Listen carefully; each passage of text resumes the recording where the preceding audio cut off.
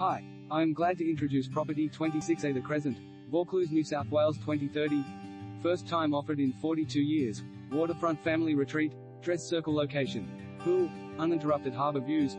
Tightly held by one family for 42 years, presenting a rare and exciting opportunity to acquire a waterfront home on Sydney's iconic harbour within one of Vaucluse's most prestigious dress circle enclaves situated upon a 549 SQM approx parcel of land, with extra wide harbour frontage and panoramic, never to be built out, northwesterly views across Parsley Bay and Sydney's Lower North Shore, from both levels and virtually every room. This magnificent waterfront retreat offers an unrivaled family lifestyle, boasting your own exclusive access directly onto Sydney Harbour. Step into the